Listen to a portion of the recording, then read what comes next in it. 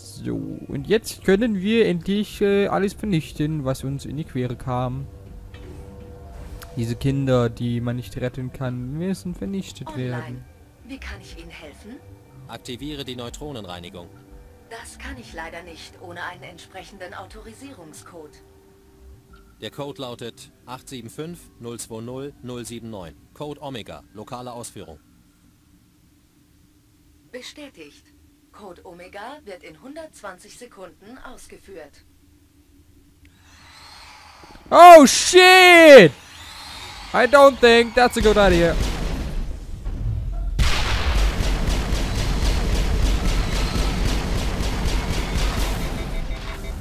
Uh oh. Oh oh! Barrier, please, barrier.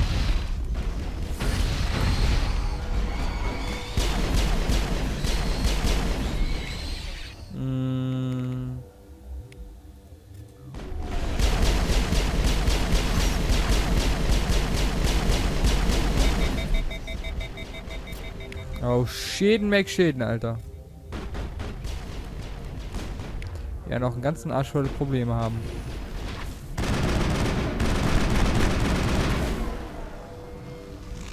Seht ihr die ganzen roten Punkte, Leute? Seht ihr sie? Ich sehe sie auf jeden Fall. Und das ist nicht gut. Nein, das ist nicht gut. Oh. Ich glaube, wir sollten hier schnell verschwinden, denn unten läuft eine Zeit ab. Sturmaufstieg, sehr schön. Machen wir mal ein bisschen mehr Pistole. Zack, zack. So, Rexy Baxy. Kann man sein Waffen ein bisschen verbessern. Und Talia Maus kann man hier hacken. Okay. Ich mache mal wieder. Okay, geht gerade nicht. What's going on?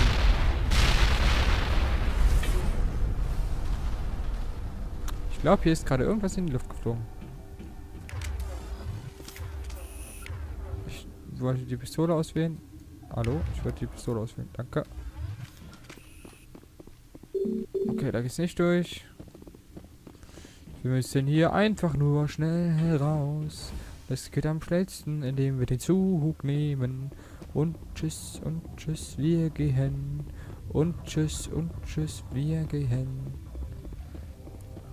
Komm, ab in Zug und los geht das hier. Jetzt haben wir alles bereinigt, Freunde. Haben wir ja ziemlich äh, gut gemacht, würde ich sagen. Ja, ich bin ein bisschen stolz auf uns. Aber das können wir jetzt aber auch sein hier, ne? Da gucke mal, ist ein schöner Ladebildschirm, ne? Das ist ja äh, wunderschön. Oh, wir sind zurück. Wie geht es jetzt weiter, Commander? Fliegen wir zum Mu-Portal? Äh, immer mit der Ruhe. Das Mu-Portal ist mit Dutzenden Systemen verbunden. Solange wir nicht genau wissen, wo Saren ist, verschwenden wir nur Zeit. Der Commander hat recht. Wir können nicht einfach blind loslegen. Wir brauchen noch weitere Informationen. Was ist mit Liara Zoni, die Tochter der Matriarchin? Ist sie nicht so eine Art Expertin auf dem Fachgebiet der Proteaner? Stimmt schon. Ihre Mutter hat für Saren gearbeitet. Und sie wahrscheinlich auch. Benesia hat uns am Ende geholfen. Vielleicht kann uns Liara auch helfen. Zumindest sollten wir versuchen, sie im Artemis-Tau-Cluster zu finden. Seit wann haben Sie hier etwas zu sagen? Hat unser Commander das Kommando abgegeben, als ich nicht aufgepasst habe? Es reicht! Wir arbeiten alle zusammen als Team hier, Williams. Sie versucht nur zu helfen. Tut mir leid, Commander. Wir sind hier fertig. Für den Augenblick alle wegtreten. Der Bericht über Noveria ist rausgegangen, Commander. Soll ich Sie zum Rat durchstellen? Stellen Sie die Verbindung her, Joker. Ich baue den Link jetzt auf, Commander. Können wir davon ausgehen, dass Ihr Bericht präzise ist, Commander? Sie haben Rachni auf Noveria vorgefunden? Sie haben die Königin davonkommen lassen. Haben Sie eigentlich irgendeine Vorstellung von den Konsequenzen? Wissen Sie, wie viele Generationen es dauern wird, bis Sie die Galaxie überrennen? Diese Königin ist anders. Sie versteht, warum ihr Volk das letzte Mal ausgelöscht werden musste. Ich hoffe, dass Sie recht haben, Shepard. Wenn nicht, dann werden unsere Kinder den Preis dafür bezahlen. Wir warten dann auf Ihren nächsten Bericht, Commander. Man kann nicht einfach so jede Spezies auslöschen, nur weil sie gefährlich erscheint. Wir müssen auch mal ein bisschen nachdenken, Freunde. Ein bisschen nachdenken. So, äh, wir schauen uns jetzt nochmal ganz kurz im äh, Schiff um, ne? Äh, was ist, was, was ist dieses? Oh. Das konnten wir anklicken, Mensch. Wunderbar. Ich bin froh, dass Noveria hinter uns liegt. Ich weiß gar nicht, was übler war. Die Kälte oder diese Unternehmen? Man friert sich dort die Eier ab oder kriegt sie gleich als unfreiwillige Organspende abgeschnitten. Bei allem Respekt, Commander. Okay. Ich muss gehen. Danke für deine äh, Einschätzung zu Noveria. Das ist äh, sehr hochprofessionell gewesen, auf jeden Fall. Guck mal, da sitzen zwei Einzelne, die da äh, eigentlich gar nichts tun, weil Joker die ganze Arbeit macht. Aber egal. Öffne die Tür, die irgendwo hinführt, wahrscheinlich nach unten. So wie es aussieht. Und jetzt, äh, ja, gucken wir uns einfach mal noch ein bisschen um, ne? Was ist hier los? Was ist hier los? Hier kein, was geht? Alles klar? Digga? er dreht sich so ganz dramatisch um. Brauchen Sie was, Commander? Ich versuche nur zu verstehen, was die Mannschaft vorhat. Vorschläge? Ist das eine offizielle Frage, Commander, oder ganz unter uns? Sprechen Sie. Okay, sehen wir es offiziell als inoffiziell an. Haben Sie was auf dem Herzen? Ganz ehrlich, hier stimmt irgendwie alles nicht. Dieser Saren sucht überall nach einem Massenportal zum was weiß ich. Können wir keine Verstärkung beim Rat anfordern? Tut mir leid, Commander. Aber hier wird etwas auf dem Silbertablett geliefert, das ein gewisser jemand einfach nicht erkennt. Wir machen das schon. Ich arbeite lieber unabhängig, als die Vorgesetzten ständig im Nacken zu haben. Versteh schon. Ich denke nur, dass eine Gruppe, die so lange zusammen ist wie der Rat, das hätte kommen sehen sollen. Tut mir leid, wenn ich zu informell geworden bin. Das Protokoll wurde beim BAAT oft genug vernachlässigt. Erzählen Sie mir davon. Biotische Akklimatisierung und aktive Temperenz schaffte es nicht bis zur Schleuse. Für die Kids, die sie dorthin zerrten, war es das Lager Gehirnwäsche. Tut mir leid. Zerren trifft es ja auch nicht. Wir wurden ermutigt, uns einer Einschätzung unserer Fähigkeiten zu unterziehen, damit ein Verständnis für Biotiken erlangt werden konnte. Es gibt schlimmere Ergebnisse von versehentlichem Ausgesetztsein von E-Zero im Mutterleib. Schlägt sogar die Hirntumore, mit denen einige der Kids aufgewachsen sind. Ist es fraglich, wie Sie dem ausgesetzt wurden? Meine Mutter war den Strahlen eines Transportunfalls ausgesetzt. Das war noch bevor es menschliche Biotika gab. Kurze Zeit nach der Entdeckung der Marsruinen. Es wird nur um 63 etwas ungewiss, als Connetics die Subjekte der ersten Generation ausgingen. Bis dahin hatten sie sich auf Unfälle verlassen. Eine Handvoll Männer in Anzügen stand nach der Schule vor der Tür. Und dann war man schon auf Jump Zero. Jump Zero ist weit weg von der Heimat. Wie war das so? Der große Zugang zur Menschheit sieht auf Videos um Längen besser aus. Aber das ist mein Päckchen, das ich zu tragen habe, Commander. Alenko, es gibt keine Vorschrift, die besagt, dass Sie sich nicht mit Ihrem Commander anfreunden können. Das weiß ich zu schätzen, Commander. Ich möchte nur nicht, dass Sie mich für einen Jammerer halten. Außerdem habe ich meine Vergangenheit in Ordnung gebracht. Sehr gut, dafür gibt es auch XP. Das freut mich. Wenn man sich mit seinen Teamkollegen unterhält. Hallo, XP, danke. Mehr braucht der Herr nicht außer XP. Nämlich besser und besser machen. Jetzt gibt's hier? Gar nichts, okay. Da ist nur er und da hinten gibt es wahrscheinlich auch nichts. Also gehen wir einfach mal zurück. Und ich glaube, wir fahren jetzt mal nach unten, um nach dem Waffendude zu gucken. Dann gab es ja einen. Und den möchte ich gerne mal fragen, was er so Schönes für uns hat. Vielleicht hat er ja ein, kleine, ein paar kleine Waffen. Das wäre ja geil. So. Freunde der Sonne und des Mondes, moin. Brauchen Sie Vorräte? Ja. Zeigen Sie mir Ihr Angebot.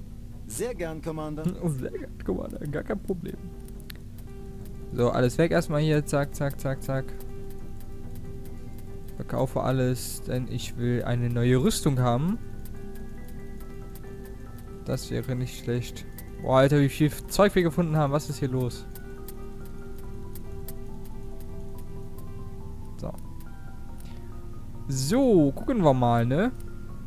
Mittelschwert Turianer. Äh, Schwermensch. Jo, das sieht doch geil aus. Können wir uns das leisten? Ja, selbstverständlich. Das ist gar kein Problem hier. Wie schaut das hier aus? Scorpion, das hat eigentlich keinen Unterschied. Eingeschränkt. Verarbeitet. Ich nehme mal das Verarbeitete. Okay. Ähm, ein Sturmgewehr ist natürlich immer sehr geil. 62, ja, aber es ist nicht so gut. Ich würde gerne mal eine Pistole haben. Na, die ist nicht so gut.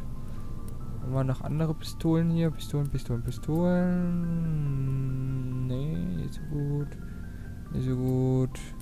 Nicht so gut. Nicht so gut. Granaten-Upgrade. Kann man mal. Äh, haben wir das schon? Granaten 1. Okay, nehmen wir mal an.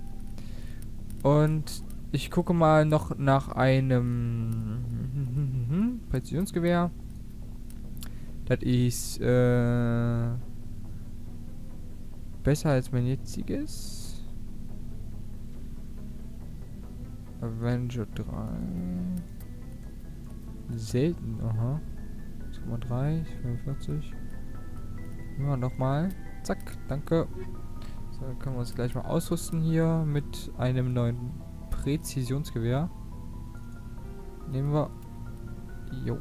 So, und eine neue Rüstung, die wir nicht tragen können, warum auch immer. Ist noch nicht ausgerüstet hier. Ähm, Kampfpanzerung. Schildboost, Erste Hilfe, schwer. Ah, das schalten wir erst da frei. Okay, dann äh, müssen wir damit noch etwas warten, wie es scheint. Commander, wie geht es Ihnen? Warum wollten Sie überhaupt Offizier bei der Zitadell-Sicherheit werden? Das kennen wir schon. Gute Frage. Ich hatte wohl mehrere Gründe dafür. Ich muss gehen. Bis dann, Garus. Oh, leben Sie wohl, Commander. Das kennen wir schon. Äh, was ist los mit T-Rex? Jetzt sind wir also Saren auf den Fersen. Es wird nicht mehr lange dauern. Saren ist gut, aber ich bin besser. Wir. Gut? Er ist der letzte Dreck. Ein Wahnsinniger. Das wusste ich gleich, als ich ihn das erste Mal traf. Warum haben Sie mir das nicht früher gesagt? Hätte ich, wenn ich es für wichtig gehalten hätte. Ich möchte mehr darüber erfahren. Es ist schon eine ganze Weile her. Ein Haufen Söldner erzählte von einem Job am Rande des Terminus-Systems. Sie sagten, dass sie gut bezahlt würden und der Boss nie vor Ort sei, um sie anzutreiben. Und sie sagten, dass er noch mehr Leute bräuchte. Also habe ich mir die Sache angesehen. Ich wusste nicht, dass Saren so offen Söldner anheuert. Es war auch nicht so offen. Er hat mich nur einmal sein Gesicht sehen lassen. Wir hatten in dieser Gegend schon monatelang Schiffe aufgebracht, bevor wir diesen riesigen Frachter abschießen konnten. Unsere bis dahin größte Beute. Ich war an Bord, um die Leichen nach Wertgegenständen zu untersuchen und so ein paar extra Credits zu verdienen. Und da habe ich ihn gesehen. Was für ein Interesse hatte Saren an dem Schiff? Ich weiß nicht genau, was er dort wollte. Er ging nur so durch das Schiff. Er schien sich nur umzuschauen. Ein paar Söldner sprachen ihn mit Namen an, aber er reagierte nicht darauf.